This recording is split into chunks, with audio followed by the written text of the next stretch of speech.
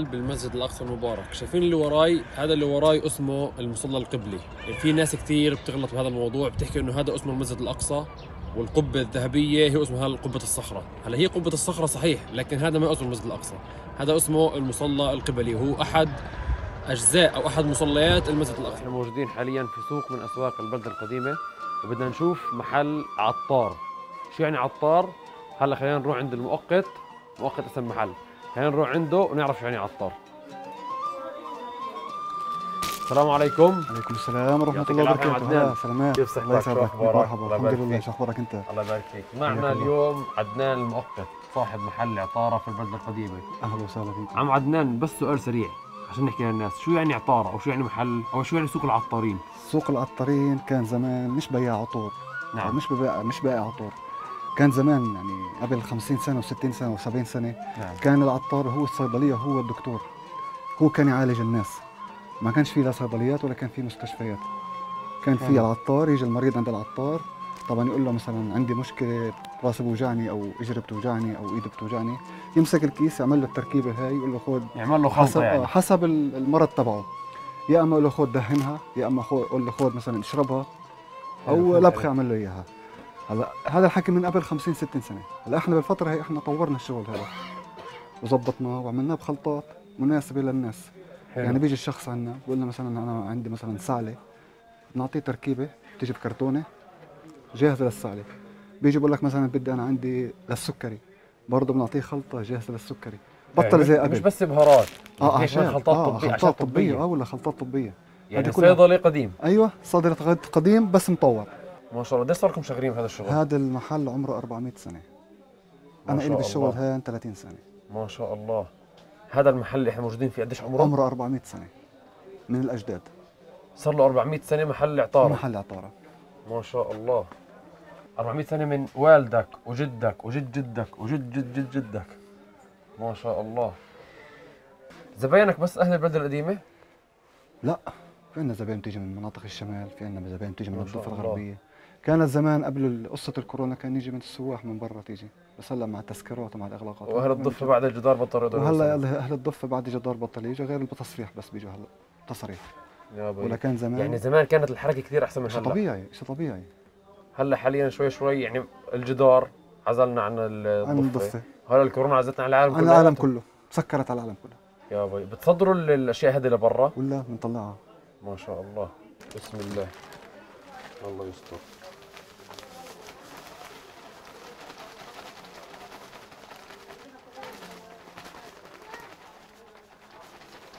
كمان؟ كمان دير دير دير.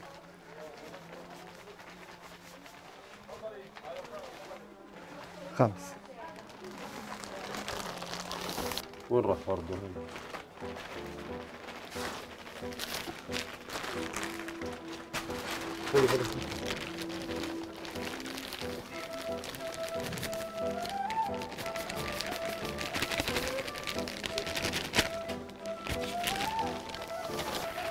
الريحة الريحة غير شكل.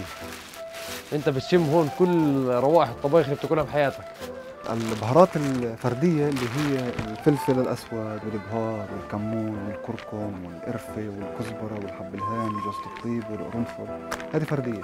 حلو. هلأ إحنا بنعمل منها هاي خلطات. تركيبات. أها. خلطات. من ضمن هلا حكيت لك إياه اللي هو الدجاج الشوي اللي هو مثلا للمقلوبة اللي هو حلو. اللحمة. آه. طبعا حلو، آه. بنسب.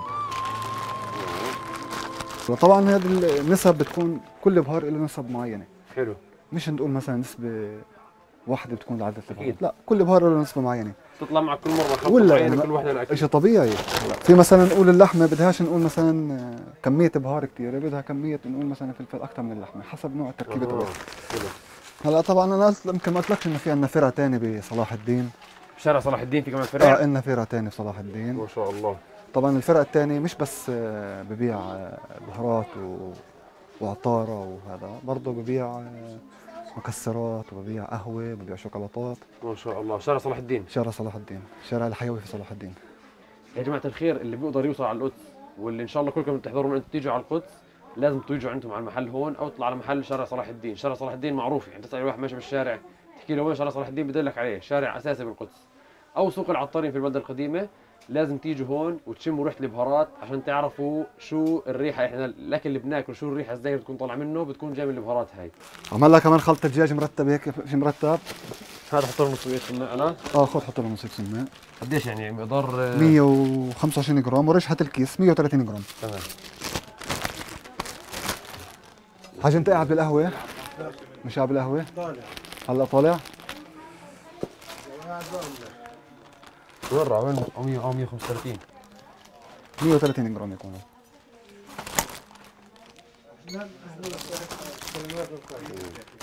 هلا عمي سلامات. كيف حالك؟ شو أخبارك؟ الله يسعدك يا رب.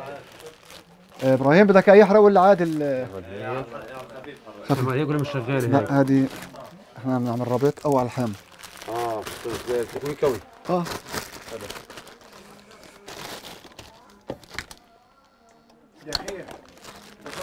إن شاء الله. ان شاء الله بإذن الله. هلا هي خلطة مرتبة.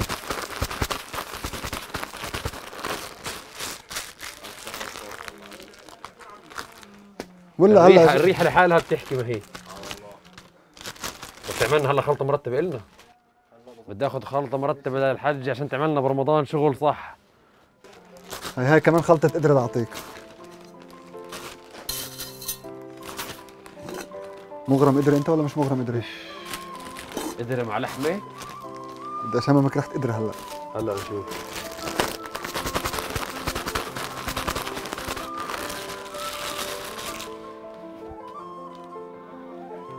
يا إلهي ما شاء الله. ما شاء الله. خذ لك شمة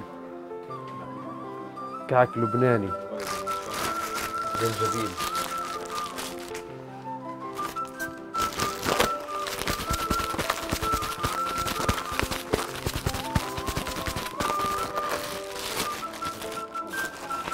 دوق شاورما؟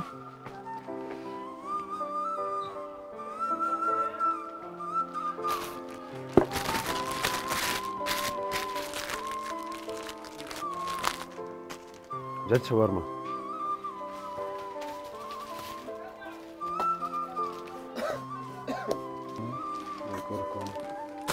هلا حكينا إحنا على الكبة. عملنا خلطة كبة. سلامات الله يسعدك. هاي الكبه هذه خلطة الكبة آه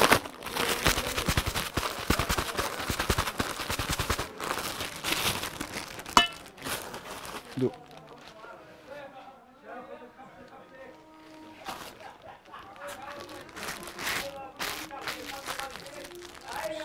عملنا شيء جديده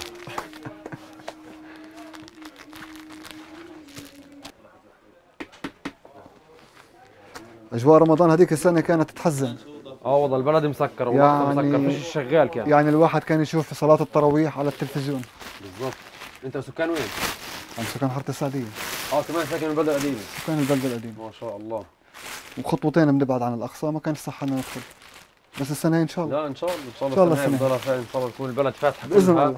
يعني إن شاء الله. إحنا بنتأمل يا رب. بس ما يطلعوش بفرتين يقول لك لا إن شاء الله لا. إن شاء الله يا شاء رب. الله لا.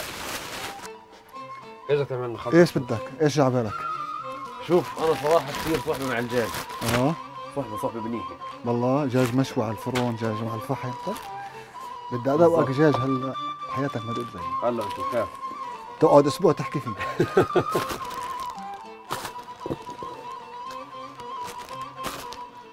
وخليه بيحرق شحطة كمان. هاي بيحرق شحطتين.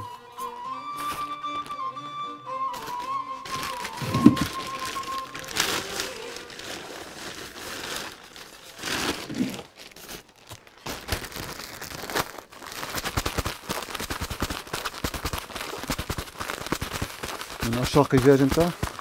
دجاج بسم الله.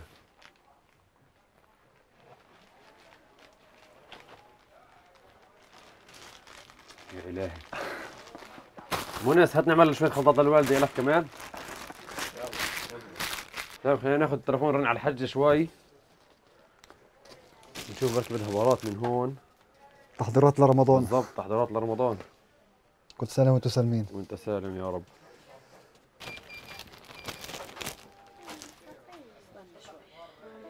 هي ضل حبة صغيرة.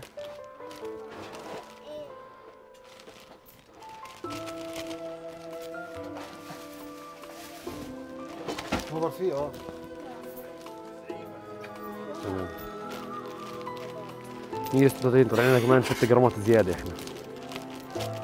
هيك نكون خلصنا أغراض الحجة شوف واضح بالكتاب عليهم واضح. هذا حدهم مضبوط. هذا ها العصفر وهذا فلفل اسمر مضبوط. وهذا سادة. الطبيخ. وهذا الدجاج وهي توم وهي بصل. وبصل.